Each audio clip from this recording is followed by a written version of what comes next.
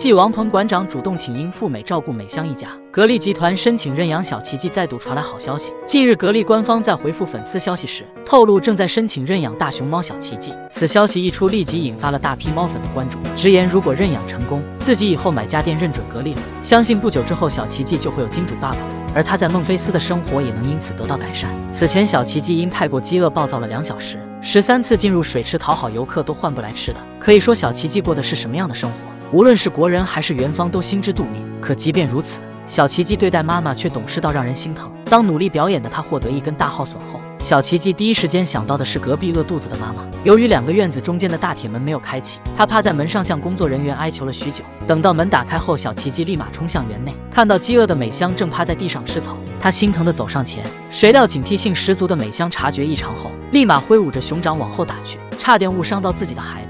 最后，小奇迹不断用头推着妈妈，将她带到了大号竹笋跟前。但美香哪舍得吃掉这来之不易的美味？只见她将包好竹笋后，直接给了小奇迹，自己慢慢吃着地上的笋皮。之后，两熊坐在一起吃竹子时，美香的抑郁症突然发作，痛苦不堪的她抱着脑袋哀嚎，甚至想摇手缓解疼痛。一旁的小奇迹察觉到妈妈的危险想法后，立刻将手放到她面前，宁愿妈妈咬自己，也不愿看她自残。看到美香情绪稍微缓解，小奇迹一头扎进妈妈怀里，仿佛在说：“不要再伤害自己了，你还有我。”母子情深的一幕，不知让多少网友心酸泪目。而同样都是被申请认养的大熊猫，同龄的福宝生活的就十分幸福。两位爷爷对他简直就是宠到了骨子里。在爱里长大的福猪猪可以肆意调皮，它会捣蛋的咬住妈妈背后的毛毛。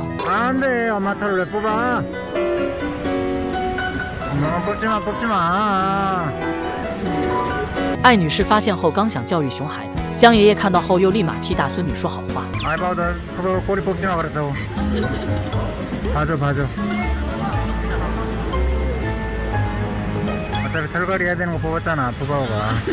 而手工达人宋爷爷会给福宝做好多玩具，有坐上去晃晃悠悠的木马，也有自拍专用竹子眼镜和手机。两位爷爷尽自己所能给了福宝一个幸福的童年，甚至连纪念日都是按天过的，不由得感叹：如果小奇迹遇到的是江爷爷、宋爷爷，那他的日子该有多幸福！期待格力能够成功认养小奇迹，让他早点过上好日子。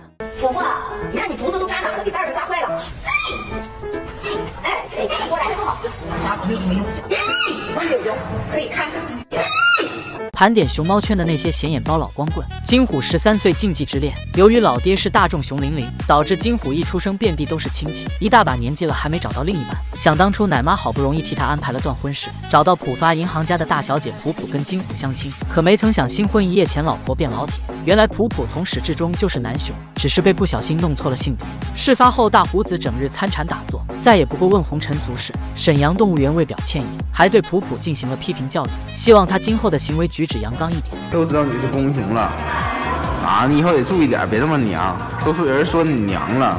萌萌的三个显眼包儿子，萌大十岁熊界大直男，萌家大阿哥凭实力单身。隔壁小白天主动示爱，背对着他坐了多久？但萌大一心只想着玩手里的破木头墩子。大哥，快给我按摩。妹妹，你想多了吧？只能说这小子真的是凭实力单身。萌二十岁，飞云绯闻男友，两熊有着同款仓鼠脸，夫妻相十足，并且一个是力量萌妹，一个是力量男孩。只可惜秦岭甜美熊飞云不参与繁育，萌二到现在都没有寻到家熊。萌完八岁，阳光开朗大男孩，北京二环内独居豪华别墅，专享户外草坪小花园。就萌兰这条件，放在上海相亲角绝对是个抢手货。但他却一直沉迷于把北洞干上市的宏图大志，翻墙越狱、挖地洞、拆家饭、二养麻雀，每天不是在整活，就是在整活的路上。虫洞一岁的于爱都已经是爱姐了，八岁的萌萌儿却依旧想当个宝宝，也难怪北洞太子妃小白天会看不上他。奥利奥十一岁，挖煤集团总裁，小小年纪就和同父异母的妹妹圆润淼淼成立了奥氏煤矿集团，但集团创业之初资金十分匮乏。三位股东只能亲自下矿挖煤，而经过三位创始人多年的艰苦奋斗后，才有了现在集团的规模。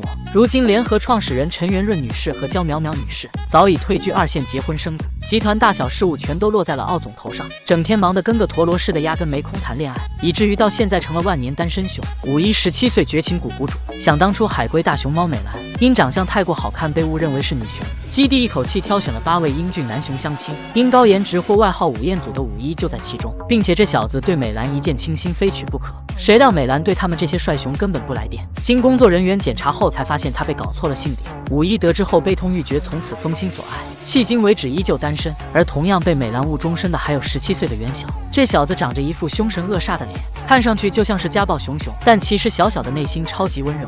想当初还因听八卦就被无情扒了毛裤，这段黑历史时不时还在网上疯传。不知一众女熊是不是因为这被直接劝退？而网友们还知道哪些熊猫界显眼包单身汉呢？那些背后有金主爸爸的大熊猫，你认识几个呢？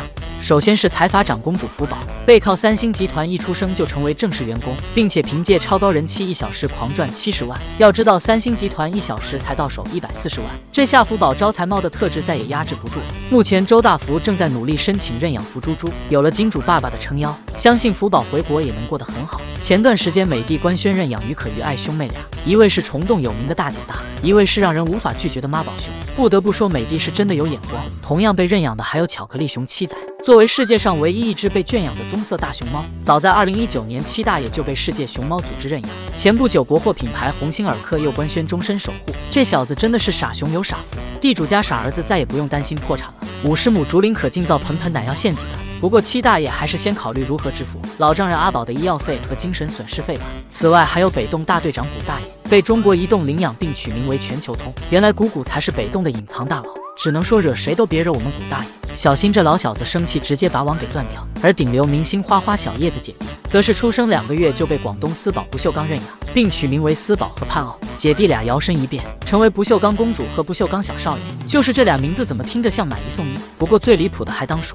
为了干饭涨八百个心眼子的二狗，不仅扫光了自己的饭，还帮花花扫光。谭爷爷都说不敢给花花喂太多，怕二狗被撑死。也正是因为太能吃，被饭扫光集团上门认亲。就这样，二狗成了名副其实的饭扫光加千金。还有奥氏煤矿集团老总奥利奥，因与做饼干的奥利奥企业重名，直接被认养。创业初期，由于资金不足，奥总每天都是亲自带着两个妹妹下矿。后来公司越做越大，招收了不少优秀员工，其中年度优秀员工当属金潇和金嘟嘟。金潇是工商银行的大小姐，而金嘟嘟则是被中国金币总公司认养。虽然背靠金主爸爸，但还都没逃脱打工的命运。